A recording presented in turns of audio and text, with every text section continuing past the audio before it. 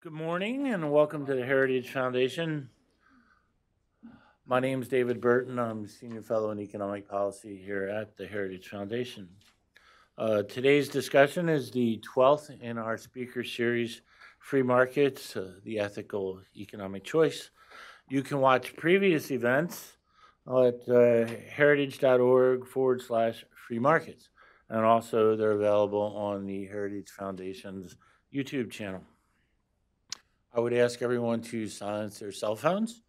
Uh, we are recording this. It's going. It's webcast, and then we'll be available on YouTube, as I mentioned. And we'd rather that we not have a cell phone cell phone ringing in the middle of, of the presentation. After our speaker's presentation, we'll have time for audience questions, and uh, sometimes that is a, a very uh, fruitful part of, of these events. Uh, our speaker at the next scheduled event will be Paul Winfrey, who's the director of the Roe Institute here at the Heritage Foundation. And his topic will be freedom and solidarity. You've got to have both. And that event will be Tuesday, March 5th. Our speaker today is Dr. Dr. Edward Feser, and his topic is socialism and the family. This talk will be a little different from some of the previous presentations people often don't think of the economic dimension of the family, except perhaps if you're a Chicago school economist working in the tradition of Gary Becker. But today's presentation will be quite different from that. And um, uh, I guess along with private property, free markets, civil society, and limited government, the family is a central institution necessary for a free, prosperous, and flourishing society. Besides creating social bonds, it plays a central role in educating children, in character formation, and in mutual support. It is the central means of imparting what Hayek would call tacit knowledge, the knowledge necessary for both economic success and to a vibrant, responsible, and engaged Republican citizenry. Government can play a modest role in supporting family, but government can also play, and indeed has played, a serious role in damaging or destroying families. This has wide reaching adverse consequences. Communists, socialists, and many progressives are typically hostile to family because the family, along with other institutions intermediating between individuals and the state, represents a strong alternative to state control of the economy and of the broader social order. Now, Dr. Feser is Associate Professor of Philosophy at Pasadena City College in Pasadena, California. He's been a visiting assistant professor at Loyola Marymount University in LA and a visiting scholar at the Social Philosophy and Policy Center at Bowling Green State University in Ohio. He holds a PhD in philosophy from the University of California at Santa Barbara and an MA in religion from Claremont Graduate School and a BA in Philosophy and Religious Studies at California State University. Dr. Feser's primary academic research interests are metaphysics, natural theology, the philosophy of the mind, and moral and political philosophy. He's written a large number of articles for both professional journals and the broader media. He's also written 10 books. The most relevant to our general subject today are on Nozick, Locke, and the Cambridge Companion to Hayek. Dr. Feser's work deserves, in my judgment, a much broader audience. He writes with a clarity that is highly unusual among academic philosophers, and he works within the natural law tradition, but is deeply informed about classical liberal thought. It's actually a joy to read his books and it is always edifying. You can find out more about his work at edwardfeser.com. And please join me in welcoming Dr. Feser.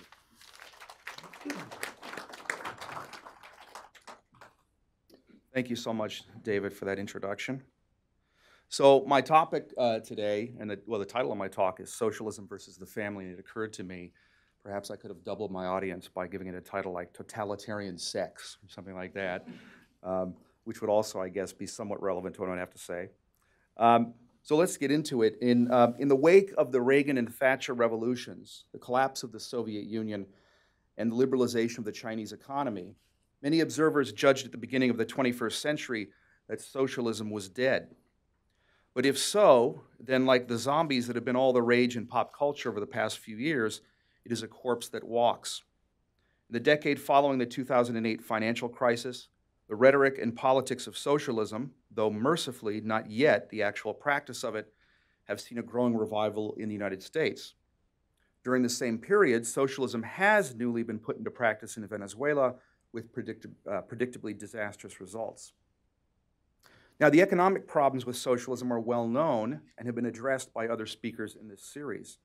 What I want to discuss today is the danger that socialism poses to something more fundamental than the economy, indeed, to the very foundations of the entire social order, namely the institution of the family. Um, so let me begin by saying a bit about what socialism is. Uh, I think there's a handout, maybe some of you have got hold of on the way in. Uh, and so if you're following along here, this would be, I guess, Roman numeral one on the handout. So let me begin by saying something about what socialism is, because the term is often used too loosely by friends and enemies of socialism alike. Socialism is characterized both by a certain kind of economic and political order and by an ethos or moral vision uh, that that order is meant to reflect. So let's consider these in turn. As an economic and uh, political system, socialism in the strictest sense essentially involves centralized governmental ownership and control of the basic means for the production and distribution of goods. Naturally, then, a system is less socialist the more ownership and control of these basic means is dispersed between diverse private hands. It should be clear from this characterization that not all governmental intervention in the economy amounts to socialism, because not all such intervention entails anything like centralized governmental ownership and control of the basic means in question. For example, for government to impose a certain tax or tariff uh, or to enact a certain regulation may or may not be a good idea, but taxes and regulations are not as such socialist. Everything depends on the nature of the specific tax or regulation. Some people indiscriminately attach the socialist label to taxes and regulations in general, and then either reflexively condemn all taxes and regulations on the grounds that they are opposed to socialism, or they reflexively endorse socialism on the grounds that they are in favor of certain taxes and regulations. Such linguistic and conceptual sloppiness is regrettable and ought to be avoided. It adds heat to political debate while reducing light. Having said that, it is also true that a policy or an aspect of the economy can be socialist in substance, even if on paper it seems not to be. The key here is the notion of ownership. As philosophers who think about the nature of property often point out, to own something is essentially to possess a bundle of rights over the thing. For example, suppose I own a certain pencil. What that involves is my having the right to use the pencil whenever I want to, the right to lend it to others if I so desire, the right not to lend it to them if that's what I prefer, the right to chew on it if I feel anxious, the right to break it in half if I want to shorten it or simply as a way to take out my frustration, and so forth. To own the pencil is to have a bundle of such rights, and to have such a bundle of rights over the pencil is to own it. Now, suppose that on paper I was the sole owner of a certain piece of land, but suppose also that the government forbade me from using, building on, renting out, or selling the land without its permission, claimed the right to some or all of whatever income I made using the land, claimed the right to build on or otherwise alter the land if I so desired, and so forth. Then we would have to say that in substance, the government was really the co owner or even the sole true owner of the land, since it claimed for itself most of the rights that ownership would normally entail. So while it's certainly true that taxation and regulation are not of themselves socialist in nature, it is also true that the taxing and regulating of a resource or enterprise can be, become so extensive that it amounts to de facto government ownership or partial ownership of the resource, and thus to a kind of de facto socialism or at least partial socialism. For if government reserves to itself a sufficiently large number of rights over how a resource is to be used or how an enterprise is to be conducted, then in practice, it functions as the owner of the resource or enterprise, even if on paper the ownership is in private hands. In that case, the economic inefficiencies and other problems that afflict officially socialist systems will to a large extent also afflict this more subtle kind of socialism. This is, of course, the concern that many people have about a single payer healthcare system. I've said that socialism concerns government ownership and control over basic means for the production and distribution of goods. Socialism in the strict sense, anyway. Goods are more basic the more uh, other goods there are that presuppose them. Suppose the state claimed the sole rights to produce and distribute wooden toothpicks, but otherwise left the economy in private hands. This would hardly be a socialist system because there is very little that depends on getting access to wooden toothpicks. The economy could get on pretty well without them if need be. But if the state claimed the sole rights to determine the use of wood, whether used to make toothpicks or furniture or houses or whatever, then we would be much closer to a socialist system since wood is presupposed by the manufacture of so many other things. And of course, if the state claimed the right to determine the distribution and use of all raw materials, wood, stone, iron, glass, etc., then we would have a more or less fully socialist system since nothing at all could be made without them. Socialism can come in degrees then. The more that specific taxation and regulation policies approximate the having of de facto ownership rights over various resources, and the more basic are the resources over which those rights are held uh, are had, the more socialist in substance a system will be. And again, this is the concern many people have, part of the concern many people have about the idea of single payer healthcare insurance, and so much of the rest of human life depends on, um, on medical care. Now, all of that concerns the economic side of socialism. But as I said earlier, there's also an ethos or moral vision associated with socialism. Suppose the state had total control over the economy, but that the state was in turn essentially the personal property of some individual dictator who mobilized all of its resources for the sole end of benefiting him personally. Though the economics of such a system would be socialist, no socialist would regard the system as socialist in spirit. The reason is that socialism holds that the state ought to own and control the basic means of production and distribution for the sake of the collective, for society considered as a whole, rather than for the sake of any one individual or group within society. Now, this collectivist ethos can be interpreted in either of two basic ways, depending on the attitude that a socialist takes toward the broad liberal tradition that has dominated Western politics since the time of Hobbes and Locke, with its commitment to the ideals of individual liberty and equality.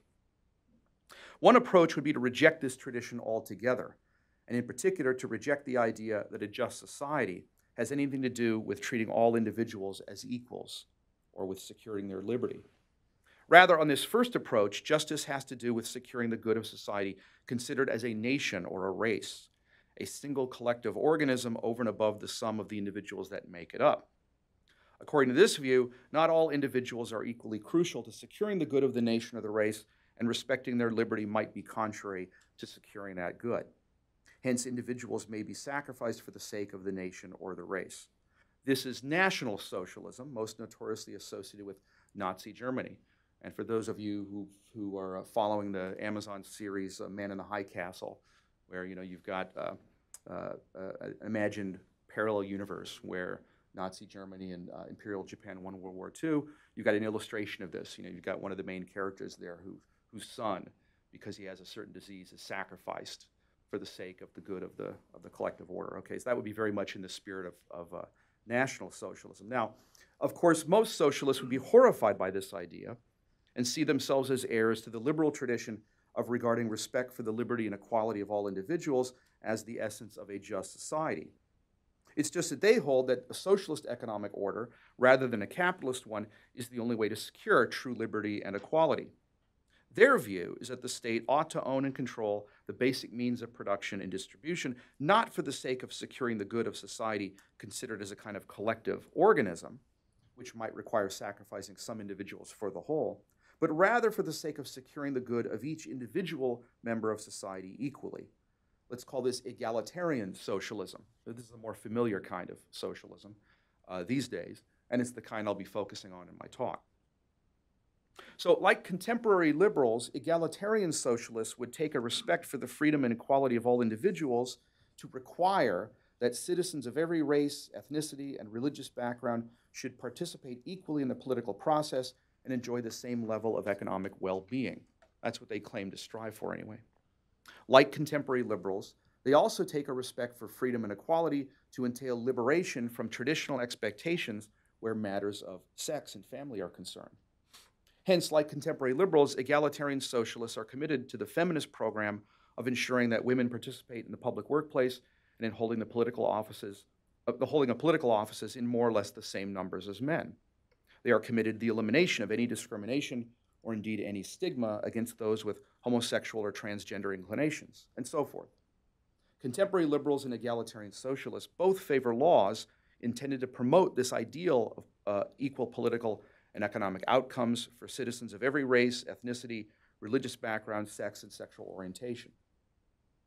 The difference between contemporary liberals and egalitarian socialists is that the socialist is inclined to, uh, to take much greater control over the economic system so as to ensure such outcomes. While the rhetoric of liberty and equality can be heard uh, coming from both uh, liberals and socialists alike, the accent for the liberal is on liberty, whereas the accent for the socialist is on equality. Hence, the liberal is willing, in the name of liberty, to support a basically free market or capitalist economy and to mitigate the inequalities that result by way of regulation and redistributive taxation. By contrast, the socialist is willing, in the name of equality, to give the state much greater control over the economy and to mitigate the loss of liberty that results by arguing that the freedom from discrimination and hardship that he seeks to secure is more important than the economic freedom that he takes away. Similarly, their accent on freedom makes most liberals reluctant to curb even political speech that they deem to be racist, sexist, or homophobic, whereas their accent on equality appears to make at least some egalitarian socialists more willing to consider curbing such speech, putting such restraints on free speech. As this last point indicates, there is bound to be a temptation, even for the democratic socialist, to increase control over the political sphere for the sake of securing control over the economic sphere, because the boundary between the two is not sharp. If you think that justice requires securing equal economic outcomes, even if this entails extensive curtailing of economic freedom, but find that freedom of speech keeps getting in the way, then it's hard to see why that should not be curtailed as well in the name of a purportedly more important kind of freedom, namely freedom from discrimination and the like. In light of all of these considerations, then, we can characterize socialism of the sort with which I'm concerned in this talk as centralized government control, in practice, even if not on paper, over the basic means of production and distribution of goods, at least to a considerable extent, for the end of securing equal outcomes for individual citizens of every race, ethnicity, religious background, sex, and sexual orientation. Okay, so that's socialism as I'm characterizing it, egalitarian socialism in particular, and that's Roman numeral one on the handout. So moving to Roman numeral two, uh, let's now turn to the family. What is it? The late social scientist James Q. Wilson provided a useful first approximation when he characterized the family as, quote, a lasting, socially enforced obligation between a man and a woman that authorizes sexual congress and the supervision of children, unquote. He meant this as descriptive rather than prescriptive, a characterization of what has in fact been the usual basic arrangement underlying the diverse, uh, specific concrete forms that the family has taken in different cultures and different periods of history. And that quote's taken from his book, The Marriage Problem, for those who are, who are interested. the basic idea is that a family typically involves a man and a woman who have an ongoing sexual relationship that results in children, and where the relationship is perceived to be governed by social norms that require provision for the children and at least some expectation that this relationship will continue. Uh, that's putting it somewhat vaguely, and it's doing so on purpose because the way that works out concretely often varies from culture to culture and period of history to period of history. In some cultures, this relationship requires a formal marriage agreement. In others, the arrangement is looser. In some, there is an expectation of monogamy, while in others, polygamy is allowed. In some, divorce is permitted, and in others, it is not. In some, but not in others, marriages are arranged by parents, and so on. but the fundamental pattern persists despite variations in these secondary features. As Wilson points out, the family so understood is more basic than marriage. Historically, the institution of marriage arose as a safeguard to the family and has varied in the ways that it has, largely because of different judgments in different cultural circumstances about what was necessary to safeguard the family. Of course, there are also sometimes families that do not fit even Wilson's bare bones description. For example, an unmarried and celibate single woman who adopts foster children. But these cases are parasitic on the kind that Wilson describes. The children in such cases come into being in the first place only because of at least a brief sexual relationship between their biological parents. And the woman in my example takes on the role, uh, a role that is modeled on that of a biological mother. Indeed, as Wilson points out, the basic pattern he describes is as universal as it is precisely because it is grounded in basic human biology. Now, I'll come back to the biology in a moment, but first it will be useful to consider the normative or prescriptive implications that have traditionally been thought to follow from the nature of the basic institution that Wilson describes. For ease of exposition, I will sometimes put things in language of the sort that a natural law theorist in the tradition of Thomas Aquinas would use, but the broad outlines of, my, of the understanding of the morality of sex, marriage, and family that I'll be describing are by no means peculiar to that tradition. They're pretty much what people of all religions and cultures of the past have thought. These traditional moral views have also, needless to say, become very controversial in modern Western society, precisely because they conflict with the conception of individual freedom and equality that, I've said, contemporary liberals and egalitarian socialists alike have in common. I'll come back to that controversy too, but for the moment, let me just set out the traditional view.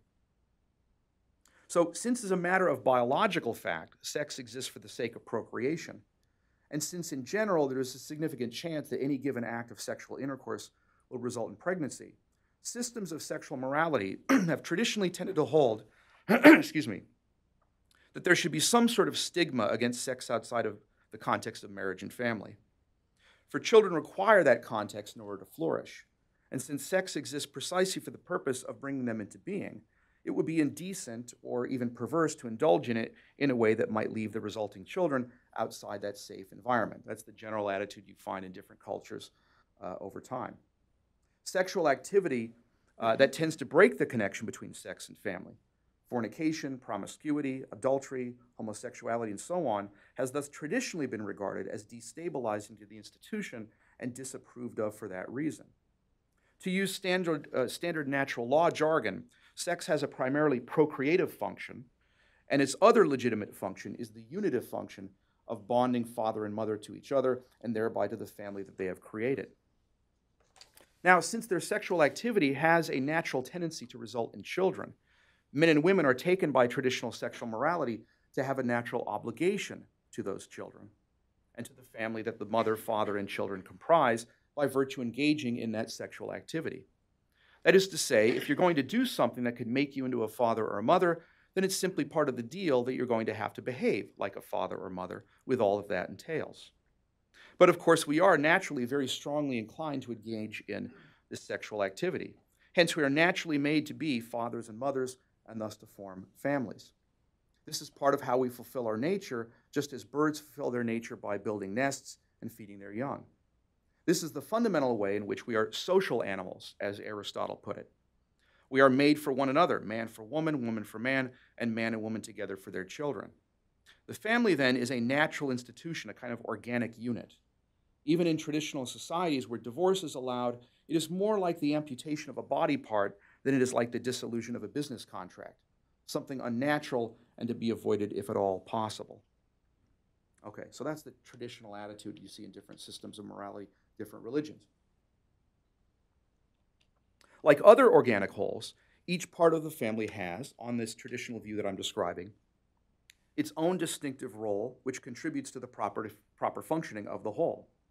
Pregnancy, childbirth, nursing, and basic childcare are so time consuming, especially when, as was true for most of human history, a woman has many children, that mothers tended historically to focus on the domestic sphere. Their greater physical strength and freedom from the rigors of pregnancy and childbirth, together with the need for an income for what was often a large family, meant that fathers tended historically to focus on providing for the family.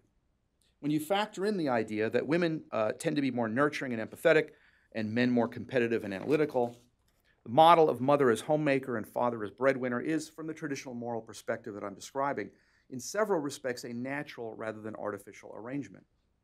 How it works out in practice may be more complicated than this brief description implies. But for the traditional moralist, that the basic pattern has persisted for so long in such a wide variety of cultures shows that it reflects something deep about human nature. Now, it's important to emphasize that the roles of father and mother are traditionally understood to be complementary rather than in competition. It's not a matter of men pursuing their own interests and women serving them. Rather, the father's labor and income belong to the family and not to himself alone.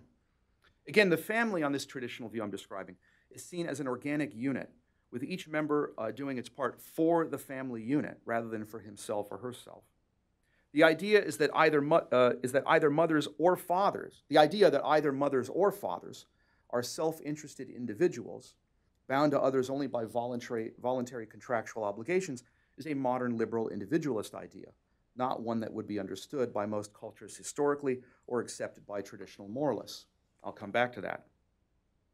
Now, providing for a family and making a home require material resources. Natural law thinkers take this to be the foundation of the natural right to private property. For ought implies can. If I have a duty to provide materially for the family that I help build, uh, bring into being, then I must have the right to acquire the needed material resources.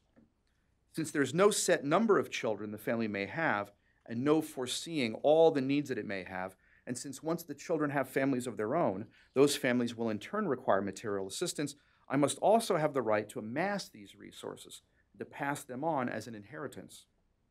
Parents are also the ones most suited to provide for the material needs of their children, since they have direct knowledge of what specifically those needs are, and they have an innate inclination to worry for their own children's well being that strangers don't have. Unlike the offspring of non human animals, human children also need to be provided for spiritually as well as materially. Natural law thinkers take this to be the foundation of the natural right to educate one's own children. When I bring children into existence, I take on the obligation to give them the knowledge and moral instruction they need, no less than they need food, clothing, and shelter. If I have a duty to provide this, then I must also have the right to provide it. Parents are also the ones most suited to providing for the educational needs of their children, whether they do so by uh, educating the children themselves or they uh, choose teachers for them, since again, they have the most intimate knowledge of the needs and abilities of their own children and the greatest incentive to see to it that these needs are met. Okay. Now, again, though for purposes of exposition, I've been using natural law theory concepts like procreative and unitive function, complementarity, and natural rights, these really just amount to a codification of what has been regarded as common sense in most cultures um, and in most periods of history. Evolutionary psychology and social science confirm that whatever one thinks of them, the basic arrangements I've been describing reflect something deep in human nature. Even just looked at in evolutionary terms, the basic family structure is what one would expect. Hence, consider some basic uh, biological facts and their implications. This is just the sort of standard thing you read in, in evolutionary psychologists. A man is capable in principle of fathering a very large number of children and need not be physically tied down to any of them or to their mother once he begets them. But if he leaves them, it will be relatively much harder for him to be certain which children are his. A woman, by contrast, is capable of having a relatively much smaller number of children and is physically tied down by them for long periods of time, given the demands of pregnancy, nursing, and the like. But at the same time, she can be certain that the children that she nurtures are her own. Though a man is likely, given these biological factors, to have a relatively greater interest in the sexual act than women are, he nevertheless has an incentive to stay with a woman he has children with so that he can be sure that the children he provides for are his own. And to strengthen, to strengthen the incentive to stay, he will tend to favor a woman who is sexually attractive and fertile and thus likely to be younger than himself. A woman, meanwhile, will have an incentive to look uh, for a man capable of supporting her and her children, and thus will tend to be attracted to men showing in, uh, indications of status and earning power. These biological imperatives will also entail a tendency in each sex toward jealousy, though in somewhat different ways. Um, both sexes will resent infidelity, but in men, the accent will be on the fear that the mother of his children will be sexually unfaithful, since this might lead to him expending effort to support another man's offspring. In women, the accent will be on the fear that the father of her children will fall in love with another woman, since this might lead him to abandoning her and her children. Now, what I'm describing, of course, is again the standard explanation given by evolutionary psychologists of the differences between the sexes that common sense has always recognized and that many social scientists tend to reaffirm. That men are more likely to be drawn to pornography, for example, and to frequent uh, prostitutes, and women more likely to be drawn to romance novels, is taken to reflect the biologically grounded tendencies of men to focus more on the sexual act and women to focus more on commitment. In every culture, women tend to be more concerned with child rearing and intimate personal relationships than men are, and appear to excel at reading body language and facial expressions and verbal nuance. In every culture, uh, men tend to be more aggressive and violently competitive and prone to risky behavior than women are, and appear to excel at spatial vi- visualization and spatial reasoning and to have a greater interest in things rather than in persons. These differences are thought by biologists to reflect the traits that natural selection would have favored in, respectively, nurturers on the one hand and the hunters that provide for them on the other. Even in modern Western countries deeply influenced by feminism, women tend to retain custody of the children when a couple splits and are more likely than men to sacrifice career goals for the sake of the family, and men tend to dominate business and public affairs. This is taken by evolutionary psychologists to reflect women's greater physical investment in child rearing and men's greater aggressiveness and need to attract women by attaining wealth and status. Social scientists point out the, that the institution of marriage, the broad outlines of which have until very recently reflected these biological factors, has benefits for all concerned. It affords women a provider for themselves and their children. It civilizes men, channeling male competitiveness in a constructive direction and moderating the male tendency toward risky behavior. It gives children stability, and boys especially the discipline and role modeling without which they tend to fall into destructive behaviors. now, it is true that these are stereotypes, but the biological and social scientific evidence indicates that the reason they are stereotypes is that they are true. Of course, the way all this works out in practice is more complicated than this brief summary lets on. And of course, the idea that something was favored by natural selection does not by itself entail that we should favor it ourselves. Nor, it must be emphasized, does the idea that sex differences are grounded in biology have anything at all to do with uh, arguing for male superiority. Different doesn't mean better or worse, it just means different. The point is just that modern biology tends to confirm the judgment of common sense and natural law moralists alike that complementarity between the sexes and the basic family structure are grounded in human nature and not a mere contingent social construct. This is acknowledged by liberals like Steven Pinker and Robert Wright, who urge their fellow egalitarians to frame their efforts at reform in a biologically realistic way. If people are left to themselves, patterns that reflect the basic family structure and the traditional sexual division of labor are bound to appear spontaneously, at least in a very rough and general way. Cultural and political developments can weaken and distort the patterns, as the rise of individualism and fem- feminism have in the West, but they will not entirely destroy them.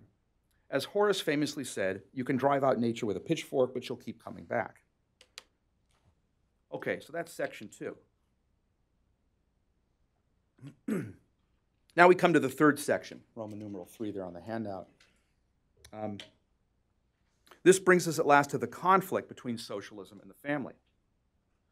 As I've said, egalitarian socialism shares with liberalism a commitment to equal economic outcomes and political power for all, regardless of sex, and to equal freedom uh, of all from discrimination or stigma, regardless of sexual orientation.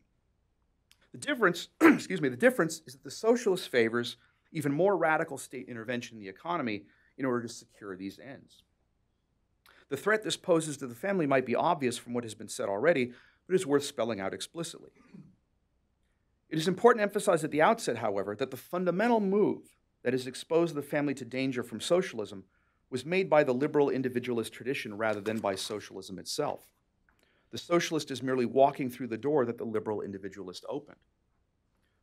the fundamental move in question was liberalism's replacement of the classical Aristotelian conception of the human being as by nature a social animal with the liberal idea of the human being as a sovereign individual. Again, for ancient and medieval thinkers, man is by nature made for woman and woman for man, and their union is by nature meant to result in a new family unit. The familial context is our natural state. The obligations that follow upon it are binding on us by virtue of our nature rather than by virtue of any social contract that we agree to. And our fundamental natural rights are the rights to do what we need to do in order to fulfill our obligations as fathers, mothers, and children. The family is the fundamental unit of society, and the way we are social animals is primarily by virtue of being familial animals.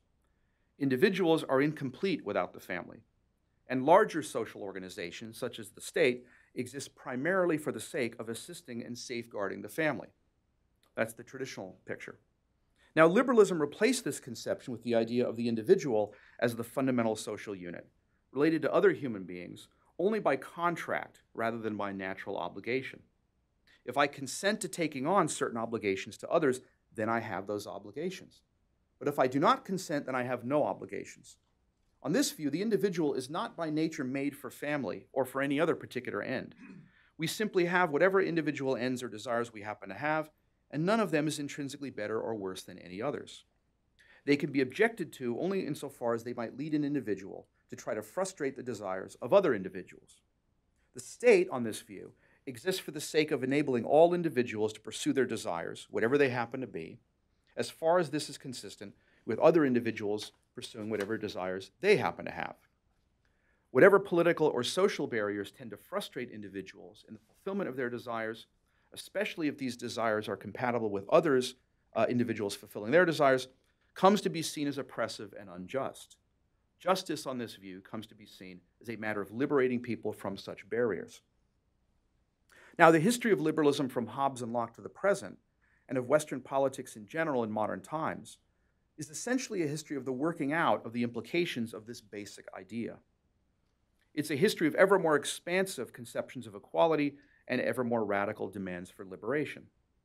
John Stuart Mill's celebration of diverse individual, quote, experiments in living, that's his famous phrase, and his call for the dismantling of the barriers to such experimentation that are posed not only by law, but also by public opinion and custom, is the classic philosophical expression of the idea. This is in his famous book on liberty. Mill was also clear about the implications of this idea for marriage and family.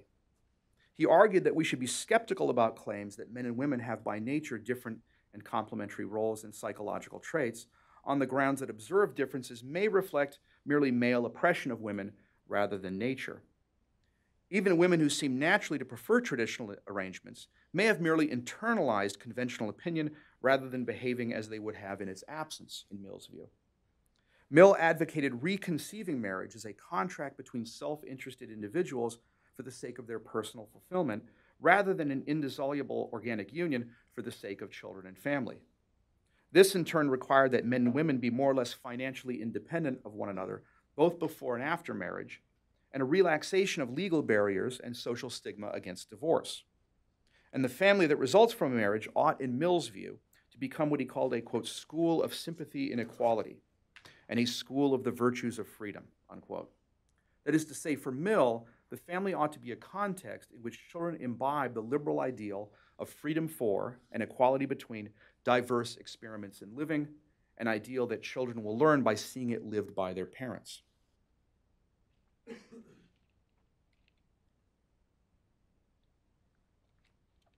Now, it goes without saying that Millian liberalism has, since the 1960s, essentially become the governing doctrine of modern American society. Feminism and the sexual revolution and all that they have led to, uh, such as the massive influx of uh, mothers into the workforce, widespread divorce and remarriage, the routine use of contraception and legalized abortion, the disappearance of any stigma against sex outside of marriage and illegitimacy, uh, the gay rights movement, the same-sex uh, marriage movement, transgender rights movement, and so forth, and so forth, are all consequences of applying Mill's principle of freedom for diverse experiments in living to matters of sex, marriage, and the family. Now, to be sure, Mill himself would not necessarily have approved of, much less foreseen, some of these developments, but they were bound to follow from the premises that he laid down. Now, there's nothing distinctively socialist about those developments considered by themselves. Nevertheless, there are several ways in which liberalism's undermining of traditional moral views uh, concerning sex, marriage, and the family have tended to lead Western society in an increasingly socialist direction. The first is that liberalism has come to regard the basic premises of feminism and of the sexual revolution as matters of justice. It is, on this view, unjust if men and women are not equally represented in the workforce outside the home and in various career fields. It's unjust if some women cannot afford to pay for contraception or abortions. It's unjust or if a business or other private organization does not want to participate in a same sex wedding or to hire someone who is transgender, and so on. Hence, since government is supposed to ensure that justice is done, the logical outcome of these liberal premises is that government will have to intervene in the private economy so as to ensure, as far as possible, that equal numbers of men and women are represented in different fields, that traditional views about sexual morality do not influence the way businesses and other private organizations make hiring decisions and conduct their affairs, that health plans cover abortion and contraception, and so forth. In short, to secure the goals of feminism and the sexual revolution, the state will have to claim for itself greater rights to decide how private organizations can operate. Since ownership of an enterprise involves, as I've said, the possession of a bundle of rights concerning how it is to operate, the state's taking upon itself the right to make these decisions amounts to its having partial ownership of private enterprises, a partial socializing of them, as it were. The second way that the breakdown of the traditional morality of sex, marriage, and family has a tendency to give way to socialism is that the more the traditional family structure breaks down, the more individuals there are, especially single mothers and children, who find themselves without sufficient private means of support and who thus require greater governmental assistance. This plausibly accounts for what social scientists have called the marriage gap in US voting patterns. Both married men and married women are likelier to vote for conservative candidates. By contrast, unmarried men are significantly more likely to vote for liberal candidates, and unmarried women are massively more likely to vote for liberal candidates. If you're a breadwinner capable of supporting a family or the spouse of such a breadwinner, you are less likely to need state assistance and are bound to resent the government taxing away income that could be used for the benefit of your family. By contrast, if you do not have a family to support you, uh, you will be less resentful of taxation. Um, and if you're a single mother with children or a woman unable to find a husband, you are bound to regard government as a kind of surrogate provider. Now, these are material factors that lead in the direction of socialism. But a third point is that there are spiritual or moral factors that do so as well. Human beings are by nature social animals, and they remain so even when liberal individualism prevents their social nature from being realized the ways, in the ways that it traditionally did. People long to be part of something bigger than themselves, and when the family is not there to fulfill this need, they will look for a substitute. This can make the idea of a socialist society attractive, especially to young people who, in a culture of widespread divorce and remarriage, illegitimacy and single parenthood, with a revolving door of stepfathers, all of this often entails, have never known stable family life. At the same time, the sexual revolution has made people creatures of appetite, impatient with self discipline, and demanding of benefits without cost to themselves. If the decay of the traditional family has a tendency to lead society in a socialist direction, socialism also has a tendency to undermine the traditional family. In other words, the causality goes in both directions. So consider first the purely economic side of socialist policy. Socialists often advocate a universal basic income, single payer health care, state funding of education for all, even through the college level, and heavy inheritance taxes. All basic material needs will thereby be provided by the state rather than by the father or even the father and mother together. The breadwinner, the breadwinner role, in other words, is dispensed with, which undermines the incentive for fathers to provide for their children or mothers to look for a father to provide for them. The state becomes the de facto breadwinner for all and the, the economic ties that strengthen the bond between father, mother, and children are destroyed. Obviously, dependence on the state would be even greater given a full blown socialist nationalization of the means of production uh, or the abolition of private property. But it's important to emphasize that even a milder form of socialism that didn't go that far and merely confined itself to the redistributive measures just mentioned would essentially take over the role of material provider for all citizens. Parents would be reduced to the status of local administrators of the state's largesse. But it's not just the function of material provider that the socialist state usurps from parents. He who pays the piper calls the tune. If the state is paying the bills, then the state will decide what it is going to pay for, when, and how. Liberal activists already fret over whether parents make sound decisions about what their children eat, whether to vaccinate them, and so forth, and are willing to interfere with these health related decisions by banning junk food in schools and legally requiring vaccinations. Liberals are also already willing to interfere with parental health related decisions in far more significant ways, insofar as they have long opposed laws that require parental notification and consent when a minor seeks an abortion, and now often oppose laws requiring parental consent when a minor seeks transgender treatment such as hormone injections. A socialist state, which involves a more thoroughgoing penetration of government into the private sphere in general, and direct state control over the healthcare system in particular will inevitably usurp parental decision making with respect to healthcare in an even more radical way than, than uh, liberal governments already do. In a socialist state, this is bound to include mandatory sex education, presented as a kind of health education and informed by the principles of feminism and the sexual revolution, and direct state provision to minors of contraception, abortion, and transgender treatments. In this way, the socialist state, even just in its role as, so, as sole healthcare provider, will have a massive influence on the molding of the character of children. Naturally, will have an even deeper influence in its role as sole provider of education. In a thoroughgoing socialist state, private schools and homeschooling would be abolished altogether, and all children would have to be educated in public schools. But even a socialist government that refrained from going this far could achieve much the same results by heavily regulating the content of private education. Needless to say, the principles of feminism and the sexual revolution would determine what children are taught and how they are taught it. Anything that smacked of what liberals and socialists would characterize as sexism, homophobia, transphobia, and the like would be forbidden. Mill's vision of a society committed to the fostering of diverse experiments in living would essentially become a kind of state religion, inculcated from preschool onward informing all policy. The only experiments in living that would not be permitted would be those that involve a return to the traditional family structure or a traditional religious way of life. Teaching that sort of thing to one's children would be prohibited as a kind of child abuse.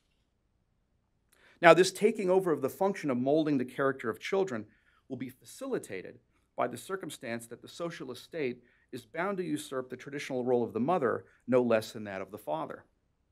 Socialists like Marx's collaborator Friedrich Engels and feminist thinker Simone de Beauvoir argued that women's equality could not be achieved so long as some women continue to choose to devote themselves to homemaking and child rearing. In their estimation, this choice reflected a kind of false consciousness, the internalization of patriarchal ideology, and ought not to be respected. To liberate women from this patriarchal oppression requires liberating them, liberating them from the home, and this in turn entails requiring them to enter the workforce. In line with this sort of thinking, feminist writer Sarah uh, argued in a controversial 2017 article that it ought to be illegal to be a stay-at-home mother. Lemarquand writes, quote, only when the tiresome and completely unfounded claim that, quote, feminism is about choice is dead and buried, it's not about choice, it's about equality, will we consign restrictive gender stereotypes to history, unquote. Now, few socialists are willing to say this sort of thing, at least publicly, but it is a completely natural conclusion to draw if one applies socialist means to feminist ends. And less extreme policies have the same goal. The aim of government funded daycare is, of course, to facilitate getting mothers out of the home and back into the workforce. Into the bargain, it provides an even earlier educational context in which the socialist state can begin to mold the characters of children, uh, something mothers traditionally would have done by virtue of uh, being with their children throughout the day during the entirety of their earliest years. The point is to make men and women essentially the same, fellow workers in the public sphere, each pursuing his or her own individual careerist ends, with distinctive paternal and maternal roles disappearing, and spouses becoming roommates with benefits who administer the provision of state services to the children.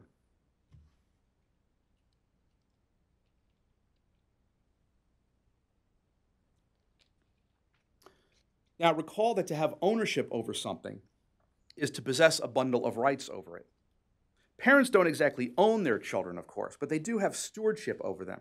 And stewardship is similar to ownership insofar as it involves the possession of a similar bundle of rights. Parental stewardship involves having rights like the right to make decisions related to providing for one's children, the right to make decisions about their education, the right to make healthcare related decisions for them, and so forth. But the socialist state, as I've argued, will at least to a large extent reserve such rights to itself. Furthermore, in the name of feminism and the sexual revolution, it will implement policies that attenuate the traditional paternal and maternal roles of men and women and encourage individualist careerism and sexual freedom over self sacrifice for the family. In these ways, the socialist state will make of itself the father and mother of all and turn biological parents into something approximating nannies who implement the directives of this governmental parent. The aim is to turn human beings from social animals into socialist animals. The worry is not that such a program would succeed. If socialist economics is contrary to the natural order of things, and I would argue that it is, socialist family policy is even more so. It cannot possibly succeed. The trouble is that socialism, radical feminism, and sexual liberation are revolutionary ideologies. And revolutionary ideologues never admit that their revolutions have failed, no matter how overwhelming the evidence. As we've seen, you know, only a couple decades after the fall of the Soviet Union, you see it tried again in Venezuela and now promoted from the halls of Congress.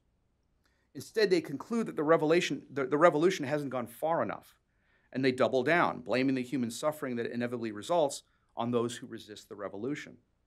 This happened in the Soviet Union, in Communist China, in Cuba, in North Korea, and it's happening now in Venezuela. It has also happened in the wake of the sexual revolution. As social scientists like David Popenoe and David Blankenhorn have shown, children in fatherless families are more likely to exhibit emotional and behavioral problems, health problems, and academic problems, to have greater difficulties in their own personal relationships and marriages, and to, and to commit crimes, suffer abuse, and live in poverty in greater numbers than, than they otherwise would. Social scientists like Betsy Stevenson and Justin Wolfers have noted that as the agenda of feminism and the sexual revolution has ever more thoroughly transformed Western society since the late 1960s, opinion polls have consistently noted a corresponding steady decline in female happiness, both in absolute terms and relative to men's reported happiness. Feminists have, de- have denied that men and women inherently differ in terms of their uh, attitudes towards sex, and the sexual revolution destroyed traditional norms regarding modesty and male chivalry. The consequence has been the explosion in aggressively lecherous behavior that triggered the Me Too movement. Yet defenders of the sexual revolution refuse to admit the obvious that children need both a mother and a father, that the traditional norms of modesty and restraint protected women from loutish men, and that women are biologically hardwired to yearn for children and for a stable provider for them. And most will therefore be unhappy when careerism and promiscuity delay these things, or even leave them in middle age, childless, unmarried, and lonely. And then there is the horrific number of abortions that have been performed since the sexual revolution began, in the tens of millions. When a woman, is, when a woman is biologically wired to nurture and protect a child, killing that child instead, and while it, while it is at its most vulnerable, is inevitably going to leave scars of guilt and emptiness that feminist ideological rationalization can only do so much to paper over. Now, the disastrous nature of the sexual revolution is a topic of its own, and I'm not going to address it any further here. The point for present purposes is that as American liberalism morphs into socialism, these bad consequences are going to increase. Defenders of the sexual revolution are going to be hardened further in the ideological thinking that prevents them from acknowledging the cause of the disaster, and the whole delusional enterprise will be backed by the full power of the state. Naturally, political action is needed in order to counter these trends, but any political successes will be limited and temporary unless the root cause of the crisis of the family is addressed. That root cause, I would argue, is the cult of the sovereign individual. And unfortunately, too many conservatives halfway buy into this cult themselves. There is, especially in recent years, a temptation among some conservatives to trade in the rich family, culture, and religion oriented conservative tradition, from Edmund Burke to Roger Scruton, for the thin gruel of libertarianism. This may have political advantages in some cases in the short term, but in the long term, it is suicidal. The free market and the free society cannot survive without strong and independent families. What Margaret Thatcher said of the former is true of the latter as well. There is no alternative. Thank you. Thank you, Dr. Feser. Uh, do we have a mic running around? Yes. Yeah. Okay. Uh, we have time for questions, and uh, we have a microphone, and if you, when you ask your question, if you could state your name and any institutional affiliation, and please wait for the mic before you answer or ask a question.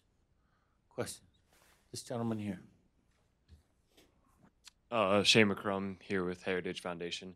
Um, so you mentioned the disaster, disaster of Venezuela, um, but how would you reply to the like somewhat success of the Nordic system um, in Norway, in Sweden, and Finland? Um, people often claim that you know socialism, in that sense, has succeeded. How would you reply to that? Well, I, I mean, I would say that the reason it's, it's succeeded to the extent that it has, and people could quibble about the details, but the reason it, that it has to the extent that it has is that it's not really a, a fully socialist system or really anything close to that. It's essentially a capitalist system with socialist elements piggybacking on it. As I mentioned in the, in the beginning of the talk, the term socialism is often used fairly loosely so that any governmental inter- intervention is described as socialist. And then it's either condemned on that basis by people who oppose socialism, or it's approved of, and then people think, well, maybe socialism's not so bad, right? Because they think that these particular policies aren't so bad. Um, and I think that's what's going on when people think of uh, Nordic countries as being socialist. But they really have essentially, you know, capitalist economies. I mean, IKEA, for example, is not a government governmental enterprise, right? It's a private enterprise, just to take one familiar example. So I would say that's the reason. They're not really socialist systems. They're essentially capitalist systems, and the, the wealth generated by the capitalist system is being used for socialist ends, but not in, but not by way of strictly socialist means. Let, let me just add a little bit since now we're a little more into my area than, than Ed's. Uh, those countries are socialist in only one respect. They have high levels of individual taxation. They tax the middle class heavily. They uh, until this year they ranked higher than the United States on the uh, Heritage Foundation Index of Economic Freedom. Now they're slightly behind the United States. Uh, but that's also true in other measures of economic freedom, like the Fraser Institutes, World Banks, and, and others. Uh, so, unless the United States has been socialist for a very long time, these countries are not socialist. They have a lower corporate tax rate than the United States even today, post tax reform. Uh, and prior uh, to the the recent tax reform legislation, they were dramatically lower than the United States. They have, uh, in many respects, uh, freer labor markets. Uh, they have freer trade. Uh, so they're not socialist countries. However, they went through a phase where they were becoming quasi-socialist in the seven, late 70s through the 90s, and their economic performance began to fail. And they, they realized they were making a serious policy mistake and reversed those policies and became quite free, except for high levels of taxation on individuals. Other questions? This gentleman back here. Um, yeah, Gabriel Greenspan from the Competitive Enterprise Institute. Um, so you mentioned how John Stuart Mill, um, how his thinking, at least in your view, um, you know, will at some point to some extent already has led to either the elimination or the regulation of private schools and homeschooling. Um, now, I personally, you know, and am not at all ideologically sympa- sympathetic with John Stuart Mill. I think he did a tremendous amount of harm ideologically. But if you read him, he he was quite clear that um, he supported broad freedoms for private school and homeschooling and educational alternatives. Um, he would have viewed it as you know all of these things as as more experiments of living, as he would have put it. And so, do you think John Stuart Mill's thinking inevitably leads to regulation and elimination of those types of things and Mill was simply being uh, logically inconsistent? Or do you think that it, it could lead in a different direction and it simply happened to lead in that direction based on the way history worked out? Right. So what I said about Mill was not. I- didn't say that Mill's uh, idea of experiments, experiments in living led to uh, things like government schooling. I say what it led to was the sexual revolution, and then the sexual revolution, in turn, I did say, uh, was among the factors that I think have led to increased governmental intervention. But I, I didn't mean to imply that that uh, Mill himself or that a follower of Mill would necessarily have to endorse uh, governmental interventions, even of a, of a more moderate liberal kind or a more radical socialist kind. You have, uh, you know, obviously you have libertarians who are, who are big fans of John Stuart Mill's experiments in living principle, but who also would be, you know, as hostile to socialism as I am.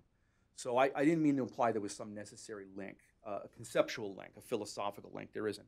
The link, I think, is more um, indirect and it's more an empirical link or sociological link. That is to say, when you uh, when you favor a general worldview that tends to dissolve the, the, the stability of the traditional family, there's going to be enough social breakdown where there's going to be a need for and call for greater governmental intervention, even if one does not favor that, even if one tries to hold philosophically to Mill's principle of, of uh, experiments in living and to a you know a, a radically anti-socialist uh, economics.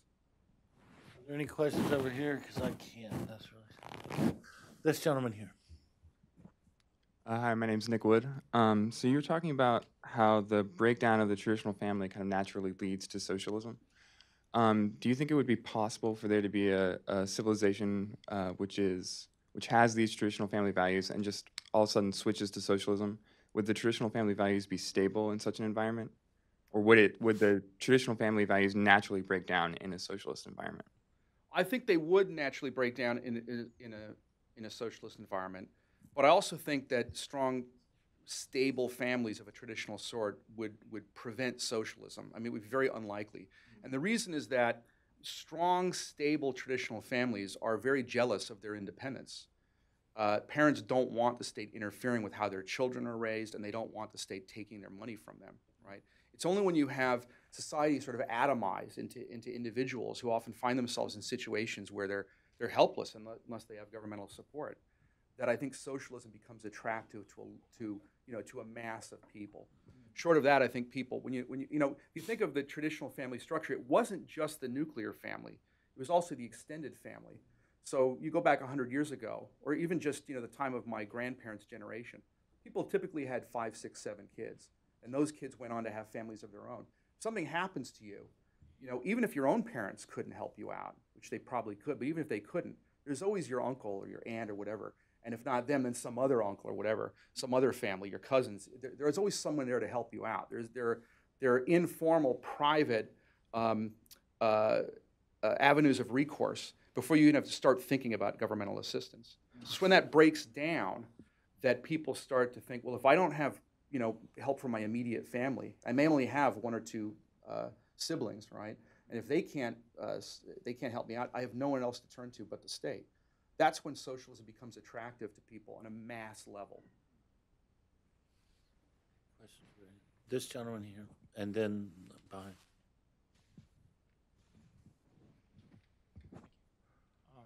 Hello, doctor. My name is Sam. I'm an intern here in domestic policy. Um, my question was, after you mentioned that the root the root cause of the problem seems to be this cult of individualism, which isn't specific to socialism. It's actually a, a brainchild of liberalism, and you know we could go on, um, and liberals could defeat socialists in the near future here in America and in other countries in the West, but we would still probably have this problem reoccurring if we don't re- rehabilitate the core values that lead to strong families. Um, so my question is, as you have increasing secularization in the West, in Europe, America, other places, um, how, how would you ever rehabilitate those values, even if liberalism continues to triumph over socialists? Um, if you're if you're having like United States, you know, like a vast minority of people retaining their Christian identity, the same in Europe, how would those values ever become prominent again? And you have like a lasting solution to this problem, um, assuming like, you know, no one, the you know, Christians don't just convert everyone in the near future. So. Well, I, I, mean that's a that's a good question. It's a big question. Um, I'm inclined to say that in the long run, you're not going to have uh, a a really solid and civilization-wide rehabilitation of the family until you have something similar happen in the religious sphere. And so I think what that, I mean, part of what that requires is a, a, a defensive religion, especially by religious people themselves. And I think that, you know, I mentioned at the end of my talk that um, I think too many conservatives are, you know, they get timid about defending the traditional family and they say, let's just focus on economic policy and they move to kind of a functional libertarianism. But I think you see something similar to that in, in the context of religion. You find um, Christians and Jews and other religious people who often they, when it comes to uh, commenting on public affairs, they'll confine themselves to, uh, to issues and premises that they have in common with a larger secular world and are almost embarrassed about or ashamed to defend the distinctively religious uh, view of the world. And I think that has to change. I mean, that's suicidal uh, as well. But that's, that's something, just as, the, as I suggested the defense of the family is, that ultimately is not going to be solved by any particular governmental policy something that I think has to, be, has to uh, occur at the grassroots. I don't want to say that governmental policy is irrelevant to these things. But at the end of the day, what's really going to have to change is, is what's going on at the, grass, at the grassroots level. It's going to have to be a, a culture-wide phenomenon and not just uh, one at, at the level of policy. This gentleman here. Hey, uh, Parker Gardner with the National Taxpayers Union. So you used uh, Venezuela as an example of failed uh, socialistic economic policy. Is there evidence in Venezuela of the failed social aspect of socialism as far as the breakdown of the traditional family and decline in moral values? Well, that's an interesting question. David, maybe you could comment on that. My own, my own understanding of it is that you have in Venezuela, and you, this, this often seems to be true um, outside uh, the context of Western Europe and the United States, that you, you don't have socialism there combined so much with a radical kind of sexual revolution agenda. That's, that's more of a, of a Western thing. Now, what happens over time? That's another, that's another story. Um, and you know, you, you, I think you definitely had a breakdown in the traditional family in the, in the long haul in the, in the Eastern Bloc countries and in uh, socialist countries in general. But in the short term, you might not have that. And I don't, I don't, I don't know that that, that I, I think there's actually not much of a correlation at the, at the level of ideology um, in uh, you know those who are running the show down in uh, Venezuela. Uh, but that's as, that's as much as I as I know to comment on the. I don't think I have a lot to add. I mean, you have total economic meltdowns, shortages, people, ma- massive population weight loss because people are starving, uh, eating zoo animals, multi- millions of people emigrating because they're they're starving, uh, and and that's all caused by socialism. But as to the the actual impact on the family, I, I don't know if I have a lot to They'll probably start marketing it that way. You know, socialism is a great, it's a great diet plan. It works. You know. You don't you don't want to be a zoo animal in Venezuela right now. This gentleman back here. I'm always amazed by the passion that some have for socialism, in spite of obvious evidence that would that would say it's failed worldwide. You mentioned sort of the setup they use. You know, if it fails, well, it's only because we didn't go far enough. We weren't revolutionary enough in our ideals. What else do you think contributes to this passion for it, in spite of what seems to be overwhelming evidence, as David was just pointing out? Is it what's happening in academia? Is it just the passion for something new?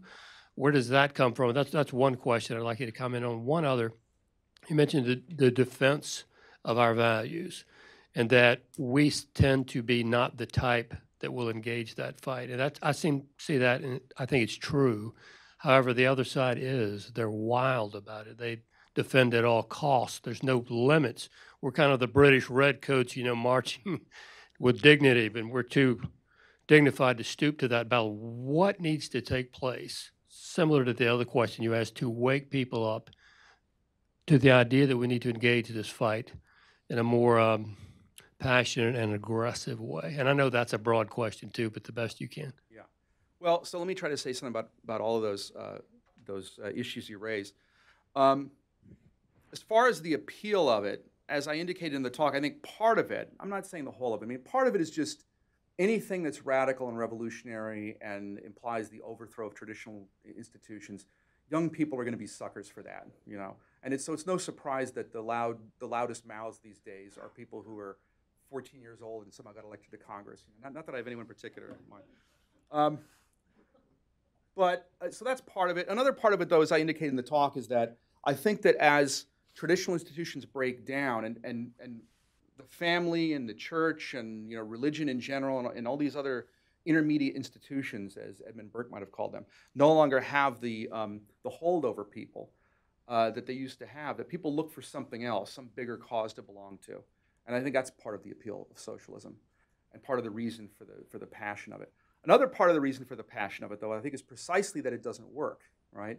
Now, what, is, what do I mean by that? Well, when you're emotionally committed to something and it doesn't work, it's very difficult to maintain the same level of attachment to it unless you double down on the emotional fuel. It's very tempting to think it didn't work because the bad guys wouldn't let it work, right? So you kind of whip yourself up and others into this fervor of, of, of moral uh, indignation and moral condemnation on the other side. And you, you're just sort of digging the hole deeper. The emotional investment becomes deeper and deeper, starts feeding on itself. And the, uh, the emotional appeal of the idea starts substituting for the evidence in its favor, which is lacking, right? The emotional fuel starts doing, uh, doing more work.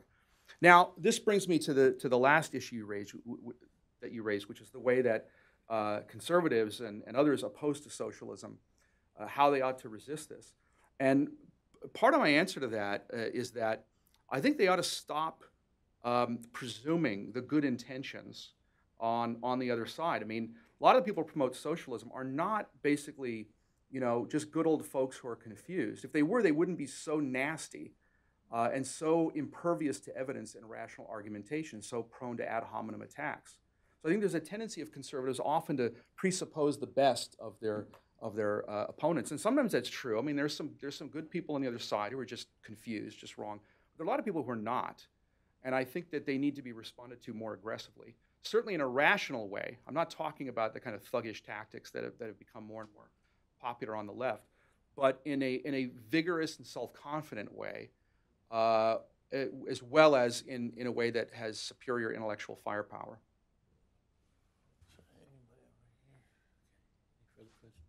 All right, well, th- thank you all very much for coming, and as I said, the next event will be March fifth, Paul Winfree, uh, Freedom and Solidarity, you have to have both. Thanks again.